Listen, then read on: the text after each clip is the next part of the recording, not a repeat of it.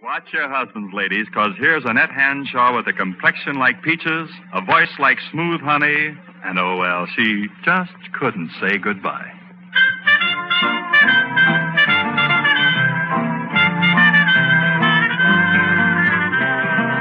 People in love are funny, mighty hard to explain. One minute they quarrel, then they're back together again. For instance. We had a little fuss. Listen, ladies and gentlemen, here's what happened to us. We thought that love was over, that we were really through. I said I didn't love him, that we'd begin anew. And you can all believe me, we sure intended to, but we just couldn't say goodbye. Sharon and the sofa broke right down and cried. Tell you confidentially, the tears were hard to hide.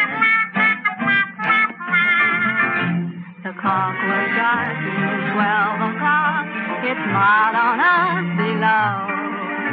With folded hands, it seemed to say, We're gonna miss you you go.